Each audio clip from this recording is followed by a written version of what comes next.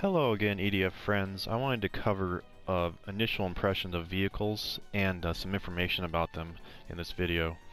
Um, this time around Ranger and Air Raider both have access to vehicles, although they do have different vehicles. Um, as far as Ranger goes, um, in the first slot here you can either take an auxiliary item to improve his performance, or you can take a, take a vehicle, which you cannot you cannot take both at the same time. You have to have one or the other.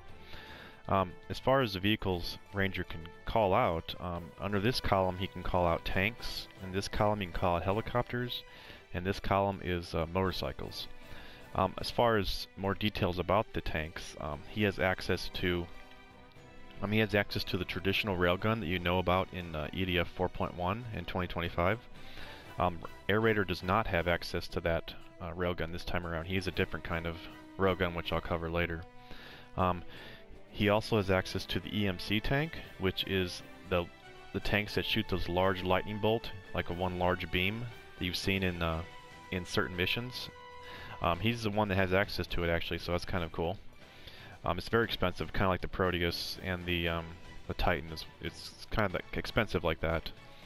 Um, as far as other vehicles in this column, these are all railguns. He does have access to, I think, a, uh, some tanks, but I don't have it unlocked on this game save. Um, as far as the helicopters go, he has access to the Brute helicopter actually this time around. I have not seen that on the Air Raider yet, and I have quite a few helicopters for him, so I think the Ranger is the one that has the Brute this time, which is the big three-passenger uh, helicopter from the past. He also has access to an auto-acquisition cannon helicopter, which is this one, and he has access to just the um, the double machine gun and missile launcher ones as well.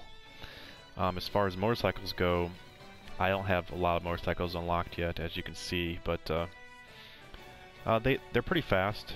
They're I'm still undecided about them yet.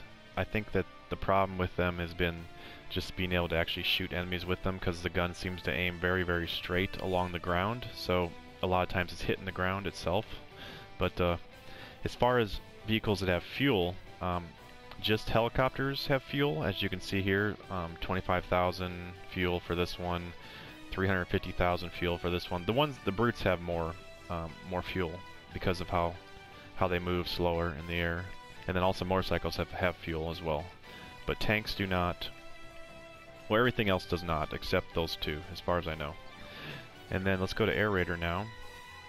Now, as far as vehicles he has access to, um, in this first column he has access to tanks, and under the tanks he has access to um, the tanks that we've had in the past where it's uh, one explosive shot. So like for the example this one, the 105 as you can see down there in the description tells you that this is a tank and not a, a railgun.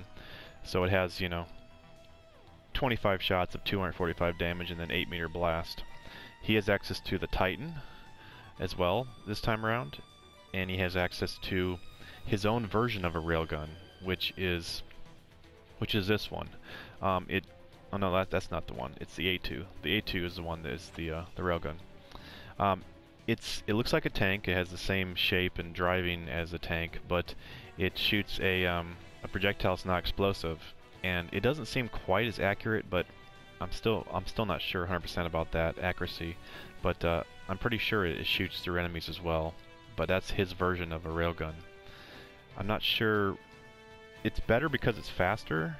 Well, I will cover the I will cover some of these in the video that precedes here. I'm actually going to take them out and show a few of them. Um, but uh, he also has access to uh, what else here? This is another Titan. He has access to APCs as well, but that's not in this column. Okay, so that yeah, that's that's pretty much the tanks, railguns, and Titans are in this column here. Um, is this an APC? I don't think so. Anyway, and then this column here, he has access to healing vehicles still, so that's that's nice. Um, he has access to APC. Yeah, this is APC column. Sorry, I don't speak Japanese if it's not obvious. um, this is this is actually the so he's access to in this one healing vehicles. This is a uh, Naegling. He has access to those. He has access to the NP APCs, as I was saying before the ones that are explosive as well as the ones that shoot like a rail shot almost. I don't think they penetrate their enemies though, I'm not sure on that though. There's another Naegling and I'm using the uh, descriptions to. Uh, it's once you once you play this game enough, you can kind of um, discern what each item is just based on either numbers or letters or something. So it's not too bad to learn once you like. This is a healing vehicle. I, I can tell because it has uh, 6,000 and then the 2.0, which is how much it heals per second, and three passengers and so forth. So that's this column. The next column is his helicopters. I only have three of them, but um, the only ones I've unlocked so far are the ones that are traditional where it's just two machine guns and missiles, or he has the three burst laser one, which I really like, has a good range and also has missiles. So um, that's all I that's all I know as far as helicopters for him. And I've been like I said, this is I've been playing this. I don't know. This particular game save has been like 50 hours, so um, that's all I've had so far. Uh, as far as this column, let's see, what is this column? This column is Vegalta's. Uh, he has access to... There's a little different weapon setups on the Vegaltas, but pretty much the same Vegaltas that you know. There's some slow ones that, that have do a lot of damage. There's some faster ones that are more mobile, like the fire one and the the machine gun ones. But uh, like I said, I'll show some of these in the in the uh, following section here after this. And then the last section he has access to is depth crawlers which are these, and then he has access to a Proteus. So I just recently unlocked a Proteus, um, and that's all I have so far on this section. So, like I said, if there's anything new, if I had to guess, I would assume he has Balams, but I don't have a Balam unlocked yet on my characters, so I'm not sure if it's Ranger or if it's Air Raider. But, uh, but yeah, now I'm going to uh, show a few of these vehicles in actual level and show how they've changed as far as controls and just how they've changed in general. Alright, first vehicle, vehicle I want to show is the EMC tank. Um, like I said, it's like a Proteus as far as how, how expensive it is, but what they do with in this game for expensive vehicles is they start you off in the mission with like 60-70% of the vehicle already um, filled, the, the meter already filled, so that you can get it, you know, relatively quickly, but, you know, if you want to get it again, it's going to take a really long time. This thing moves slow like a Titan, but it shoots in thousand uh, thousand ammo increments. So like down there, it shows seven thousand ammo. So if I start shooting this, it won't stop until it gets to six thousand. And you know, of course, you can aim this while you're doing this, but uh, it seems relatively strong. I, it's still early to tell that, but it has something has really good range. It's like it's very almost infinite range. But like I said, it won't stop until you, um, until, until it shoots a thousand. Even if you get out, like you can get out and it still shoot. So in a way you could almost, you know, aim this at a large target, like a ship or something that's not going to move, and then just get out and fire as well, and you can kind of use that as a strategy maybe a little bit. But yeah, this vehicle seems pretty decent, pretty fun to use for sure. Um, controls really slowly, but it's not bad, doesn't feel bad. Turns very slowly, of course.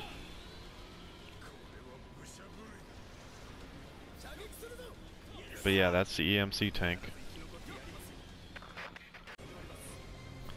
This is the railgun, which Ranger now has access to. Like I said, it's very, very traditional railgun that you know about before. It has the machine guns on the side and 500 ammo, and then, of course, the railgun itself, 25 shots.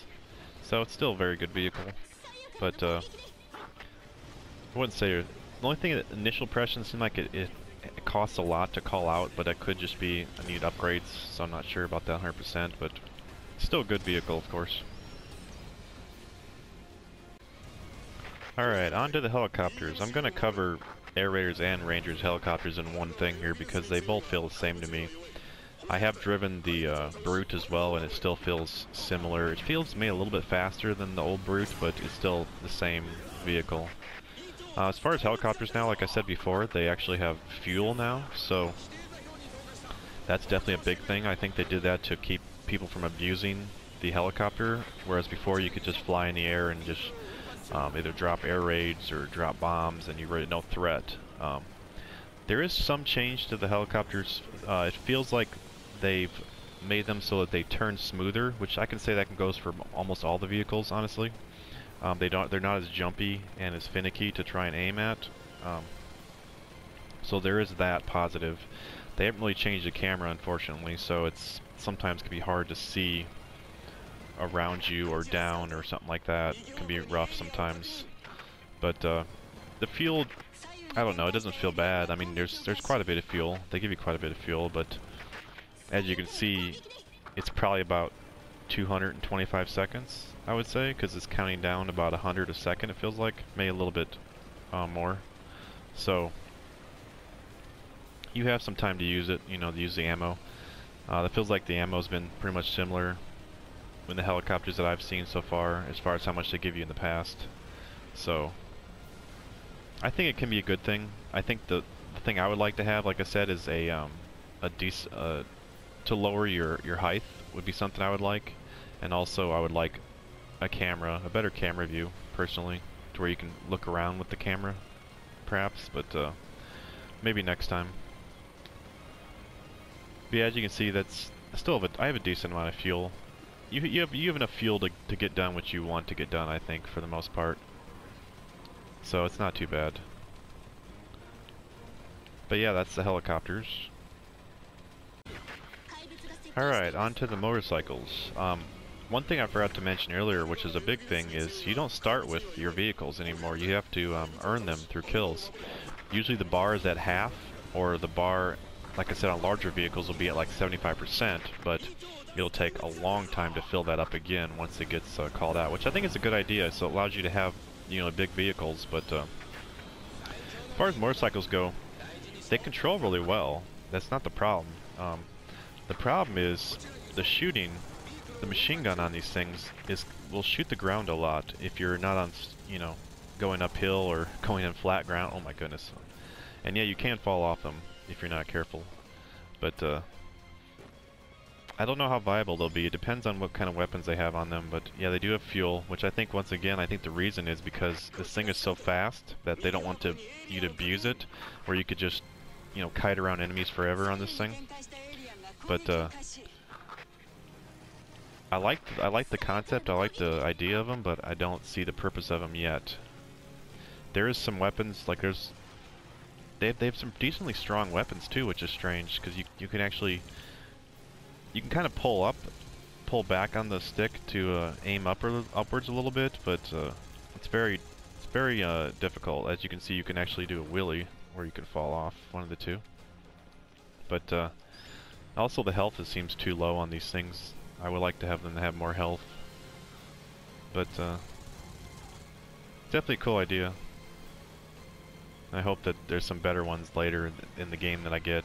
Like if I could see them dropping mines or something, would be nice, but uh, yeah, I didn't use the brake there. I should use the brake, but there is a brake in reverse.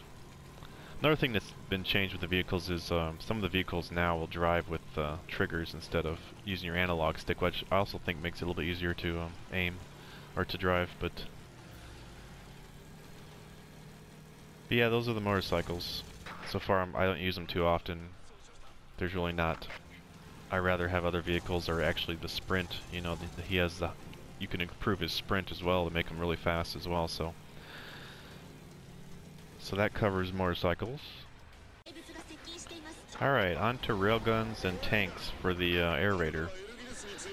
Um, another thing I, I forgot to mention was um, you can't you can't throw the uh, beacon for the vehicle really far anymore. It's just a simple one button press and you can't charge it up. So that's another thing. You only can throw it about, I don't know, 10 meters in front of you. Now this is uh, Air Raider's new railgun. It also controls like the tank, so I'm not going to really cover the tank, but it's nice because it's fast and it, and it uh, moves fast and it controls nicely. But uh, like I said, they did they did adjust. This is I'm turning as fast as I can. This is how they've they made the aiming better in the fact that it's not so jumpy. It used to be so jumpy. So this is the railgun. It shoots pretty straight. It doesn't feel quite as accurate as the railgun, but it still gets the job done. It does the same, you know, same thing of what you would want to take down, you know, airships or whatever else. But, uh,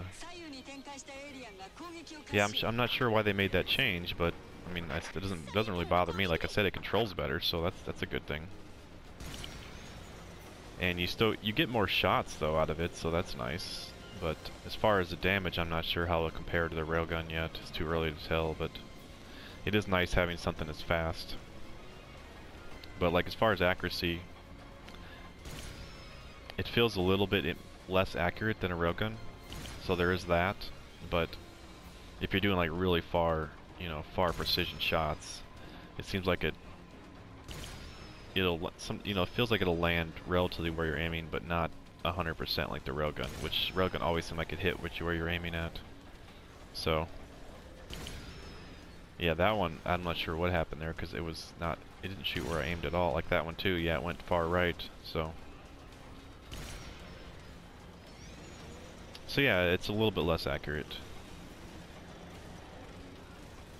But still a good vehicle nonetheless. It does shoot through enemies.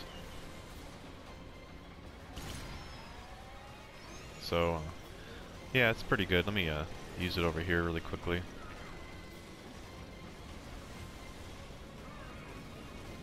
There's a lot of enemies on this mission.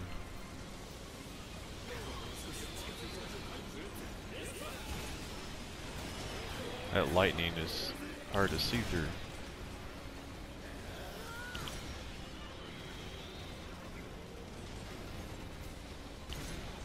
Oops, that was a bad shot.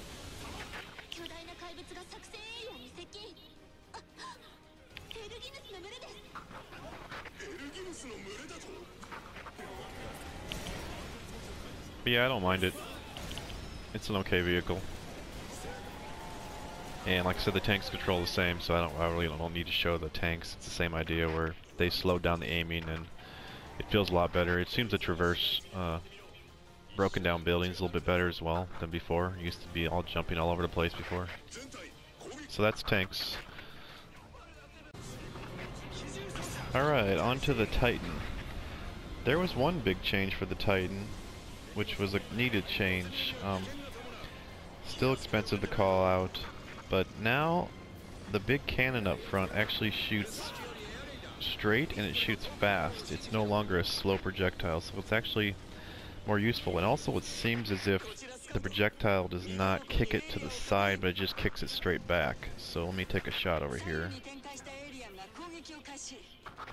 And as you can see, it shoots pretty straight and fast, so you actually can use this thing now and actually hit your target, so it won't be moved when it finally gets there. And it just doesn't, it doesn't seem to kick as much, which is great. Um, the side gun still feels the same, the front gun still feels the same, there's only 10 shots, and you know, there's just various, you know, different side weapons. Unfortunately, the aiming's still the same on the side guns, so it doesn't really, it's hard, a little bit, little bit hard to aim.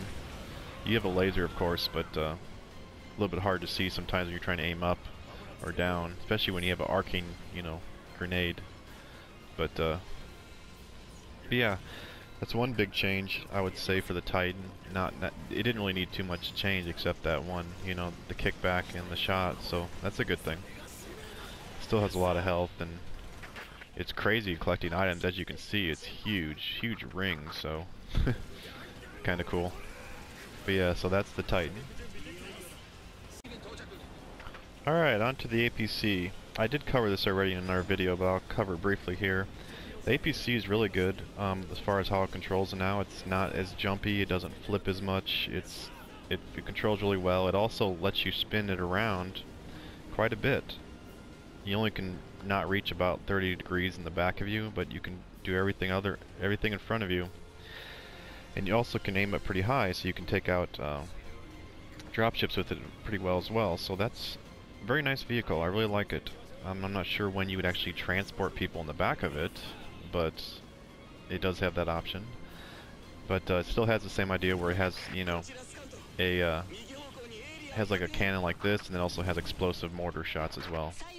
You do have to use your triggers and your bumper to actually go forward and backwards now instead of using your analog stick as well. So it's L2 to uh, accelerate and and uh, L1 to uh, and go in reverse. So, so yeah, that's the APC. I like it. It's pretty good. Alright, on to Vegaltas. As far as Vegaltas go, they almost feel, or may I, I may even say they feel 100% the same as before. They look different, of course, but they seem to uh, perform the same. The only thing I was hoping for them was to be able to uh, turn or strafe mid-air, or even strafe at all. But no, you still have to actually turn your body around to where you want to move and then you can move forward. So, like I said, there's still the slow ones, there's still the medium fast, medium ones, the fast ones. Um, it's still, you know, fast to do the hopping motion. But the only problem is, like I said, if you need to turn, you have to stop and then turn around and then move forward. So I would have liked to see them put in some kind of strafing, but uh, it's not a huge deal. But yeah, like I said, they feel almost the same. so that's Vegaltas. Alright, last of all I want to show off the Depth Crawler, and there's good news for Depth Crawler. Um, I didn't cover Proteus, I didn't cover some helicopters, Brute, the ambulance. Those um, those feel the same to me. There's not really much to uh, show off on those. Um, they do look different, different, but uh, other than that, they feel the same. Uh, like I said, good news for Depth Crawler lovers. Um, this time around, they've given you a lot more health, so that's good. You can actually use them. I've actually used them quite a bit um, above ground because of how quickly you can call them, and also their health increase. Um, their weapons feel the same. Um, I've, I've found, you know, the ones with the rockets. I found the ones with the flamethrower, the shotgun machine gun, the um, and also the uh, the sniper cannons, which are really good. So I really, I'm really liking them. They seem to have more ammo as well. I'm, I'm not 100% sure on that, but it just feels like the couple felt like they had a lot of ammo, and I didn't run out too often. But also the controls are better. As you can see, I'm not swinging the camera around crazy like a crazy madman. I can't control it. So they they slowed down the aiming in all vehicles, including this. So it makes it a lot easier to use. Unfortunately, I mean, they're faster. They have some faster ones, but unfortunately, they're still, I think, still too slow. Especially underground, where most people are rushing ahead and you, you can barely get there in time. Um, you still have the side dash, you know, but also, unfortunately, the camera is still the same. Um, when you walk up a wall, it's still very awkward and difficult to know where you're at and uh, being able to control in opposite directions and all that is still unfortunately in here so that's too bad. I was hoping the camera would have just followed followed the depth crawler so that even though you're upside down you're still viewing the depth crawler on the bottom of your screen. I think that would be the best way to fix it but that's just my opinion. Um, but yeah I'm really enjoying the depth crawler so that's good. One negative still the depth crawler is when you're walking on ground the aiming is very jumpy. I wish they would have made it so that the aiming would stay stable while you're walking. So a little bit difficult to use sometimes when you're when you're moving or running away, but uh, still very good vehicle. Or now, or still now, it is a good vehicle and it's useful above ground as well as below ground. So that's cool. And as far as what you can call out underground, it's still the same where you can call out motorcycles and you can call out uh, the depth crawler. So that's remained the same as well. But I don't know if Air Raider has motorcycles, honestly. I think it's just, it was Ranger now, so. But yeah, that'll cover all the vehicles here that I wanted to show off. Um, thanks a lot for watching, and uh, like I said, if there's any changes or anything new that I discover in the future, I will make some updates or another video, but I just want to give at least initial impressions of vehicles in this video. Uh, thanks a lot for watching.